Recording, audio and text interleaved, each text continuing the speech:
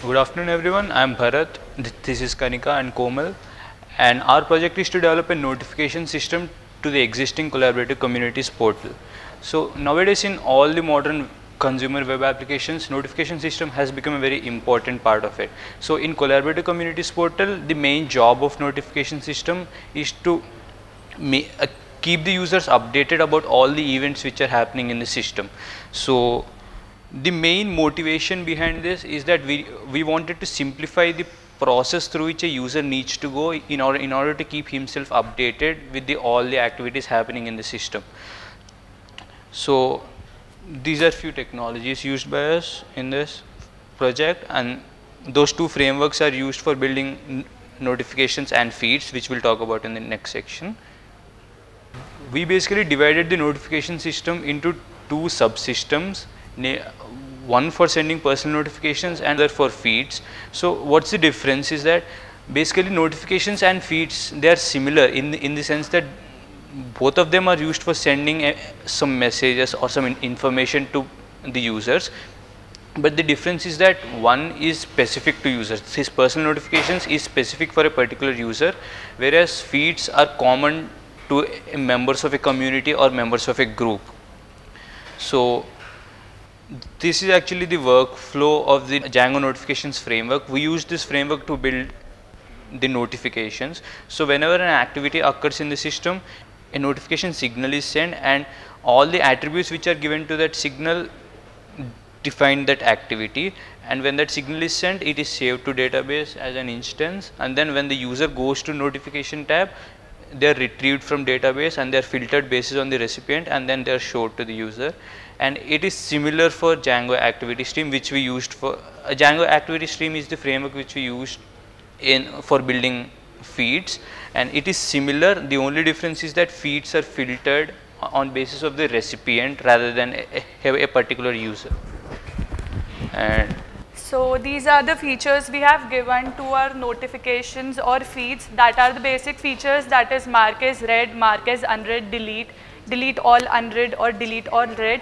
The basic, the major uh, feature of our notification or feed is the linking part that is like our notifications looks like this and if you will click to this PQR group, it will redirect you to this group and it will be automatically marked as read. That was the major feature and the basic features are here like you can delete an individual notification and you can mark any notification as read or unread or this all notification and unread notification are basically the filters and mark as read, unread, delete all, delete read and delete unread are the functionalities we provided for our notifications.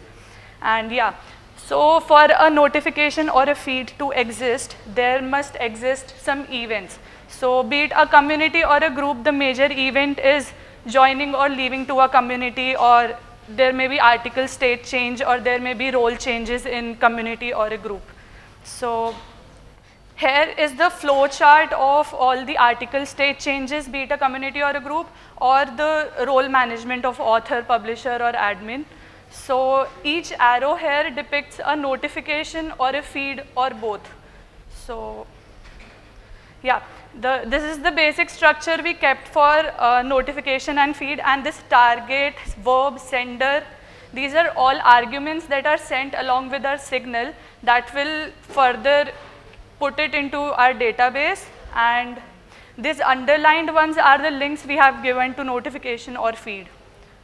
So for example, suppose article state is changed from publishable to published. So author should get a notification saying that congratulations, your article got published. So this is the example where sender is publisher because a publisher can only publish the article and recipient will be the author itself and it's the notification generated saying that your article got published. So the feeds as she said, when an article status changed from publishable to published, the author of the article gets a notification saying that your article has been published. Along with that, a feed is sent in the community to all the members so that they come to know about the published article. Uh, feeds are sent using action signal. So these are the arguments which are sent and this is the structure of a feed. IIT Bombay is the name of the article and The verb is article has been published and root is the author of the article. Live updater batch. So the main challenge in the notification system was to make it real time. For example, a new, when a new notification comes, the user doesn't have to refresh the page to check for the upcoming notifications. For that, we added a batch which shows the unread notification count, which updates itself without ref page refresh. And this is done using a JavaScript API, which sends uh, HTTP requests at regular intervals of time.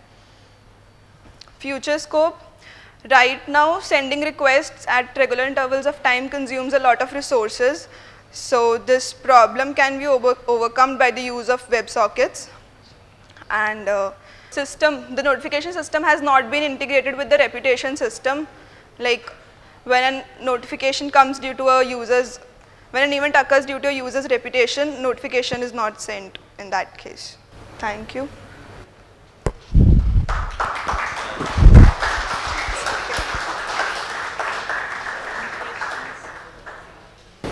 It was quite a honest, they gave me quite, quite honest feedback. They know it was not quite easy. So that, that's fine.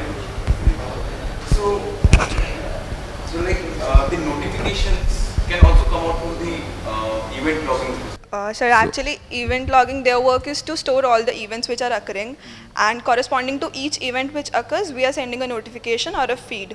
So that part is done, only the part related to reputation. Like for example, an author's reputation goes down. So we are not sending a feed to the community that this reputation has gone, gone down. So since we these projects were independent, so the integration of reputation system and notification system has not been done. But otherwise, corresponding to all the events which are occurring right now in collaborative communities, all the notifications and feeds are going. But maybe this can be integrated with that Huh, as well. this is very easy to integrate, but it was like uh, their system got integrated a bit later and our system had been joined. So somewhere I saw also the term called group. So what's the difference between community and group? The difference between commu- a community has certain groups. A group can be public or private group. Uh, for example, there's a community named uh, Science. Okay, it's just like a sub community. Okay. Mhm. There can be many groups in one community. Right, right. So just one more thing, it's like it's maybe common to all the people working on collaborative systems. Like uh, somewhere I felt that you are not considering edits after an article has been published. No, we are considering Ha ha. Once an article has been published, it cannot be edited. So Cannot be edited. Yeah, but in fact, papers are itself being retracted these days. yeah, it's not a major issue. But yes, yes, right, right, right. Mhm. Right. Uh, sir, uh, refining is done. Like if a article is in draft state it, and it changes to visible state. Visible state, that means only community members can edit it. So they can refine it to a bit more level. It's not published yet, so they'll refine it. And then after visible state, it will move to publishable state. That is only publishers can refine or edit or view it.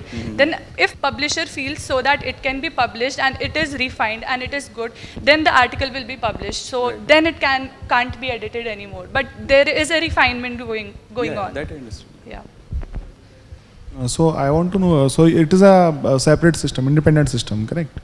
So how easy or difficult is it to combine with or attach it with some other system? So we have used frameworks, right? We have used Django framework and Django notification framework, and for feed we have used activity stream framework. All we used is the function provided by them. So we modularized our code and we just made a new separate app. So it's like using that framework would be very easy. You just have to design your own uh, display and template, and that's it.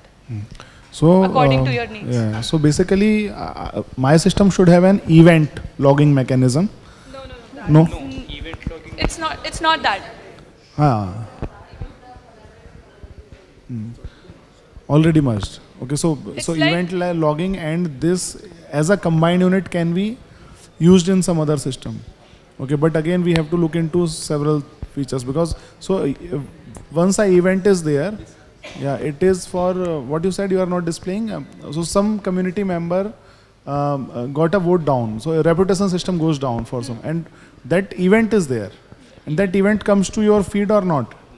No, it doesn't come. It's it's like uh, we are sending. Suppose, for example, we are sending a notification when a role gets demoted or promoted. Mm-hmm. So suppose uh, someone is publisher and its reputation goes down, and he becomes an author now. Okay. So he will get a notification that you are no more a publisher now because he should be informed. Okay. He or she should be informed. So that will be implemented with uh, reputation event system. login. Yeah. So so so the event, okay, not event. So there's an event that some person's uh, reputation goes down. Okay, then um, reputation system also goes down. Okay, reputation system it's, goes it's, down it's, and it's, it's like uh, suppose you click on some button suppose there is any event then sending i mean we are sending the notification and event being stored these two are happening No, no, uh, that I got that you are Uh-huh. sending notification, but there are some rules on which you are sending notification, correct? So you are filtering some things. So, um, for example, that if reputation system goes down, so you are filtering it Hmm. Yeah. that to decide whether this Whether need to be sent to a author or Yes, to yes, group yes, yes. or to nobody, correct? So if I have a, a system and I want to use your system, that also means that I need to program your system in some manner so that it can understand the verbs or, Yes. or the, the functionality of my system. yes Okay, so can that be modularized? So at least that per, that particular thing that what are the events and what should be the feed. At least that should be modularized. So it will be very easy to integrate their system. Yes Okay, thank you. Hi, uh, I have a question. So you said the regular intervals. So how frequent are those? five Like, right now it's Five five, seconds. seconds but So- you can change it so how much, how frequent are you willing to go before you go to It WebSockets? depends on the number of users. No, no, no. I'm just saying. I'm just saying. How about you make it one second? Then, Yeah. so why did you not use WebSockets? Acha, Huh. This functionality was provided by the framework itself. Okay. So we use the So, functionality. so, so when do you think would the WebSocket make sense? A- At what frequency do you think the WebSocket would make sense? WebSockets maintain a continuous, uh, Yeah. continuous connection. So WebSockets will consume much less resources than this. So I will just say just read on this because on non-Chrome browsers, Huh? the WebSocket implementation Yes. is still a pooled AJAX Yes. request. There is So if you are not on Chrome, then your users are still going to be following the same thing. there is, there is something called Django channels. So what it basically does is whenever you like if you implement your system using that, it will check whether the browser is compatible with Right, right, right, WebSockets or not. If at all it's not compatible, then it will fall it fall back to things like long polling, polling, short Mm-hmm. polling, those kind of things. Cool. Thank you.